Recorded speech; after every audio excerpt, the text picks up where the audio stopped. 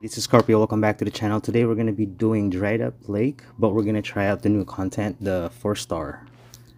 And um, so we're mainly going to be using the Scorpion Bow 3 star and a 3 star combat shotgun. And um, I'm going to be using the bolt rifle just to kind of lure him in, um, put some damage in right before he comes up. But other than that, we're just going to wait, let him do his thing um, I brought a couple of options for weapons, but we're just gonna focus on trying to kill him and not, nothing too fancy. This is my first time in the in the run. I had to uh, I had to farm some fuel so I can uh, travel across the the map. But we made it, and here he is. He starts coming in. So he's got a lot more HP now than he did um, in the hard mode that we were doing before. So now he's gonna stun. I don't even want to know what that full damage is gonna be like, so just try to avoid it. Because as you can see, he hits really hard. That was just one hit.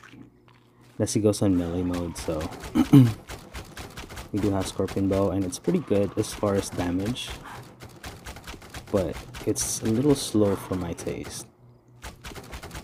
But it still is pretty, pretty effective if you ask me. But right here, I think I'm gonna start switching to the shotgun pretty soon.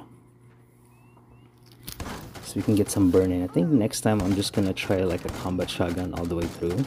Um, for bigger HP bar like this, anything that you're gonna have to deal constant damage like bleed, for example, whenever we're doing melee, um, is really good and I'm gonna be pretty tricky here in a minute.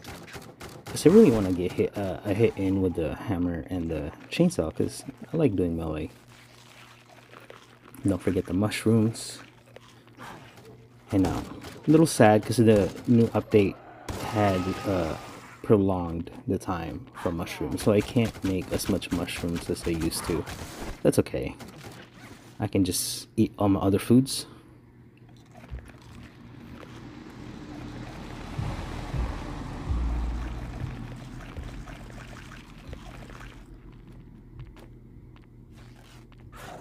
go. We got a stunning. And we're gonna get a bleed in.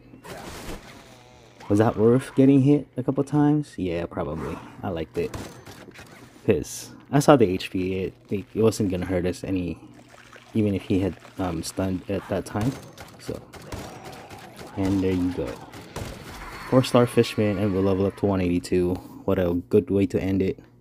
Um, thank you guys for coming. I'll catch you guys on the next one.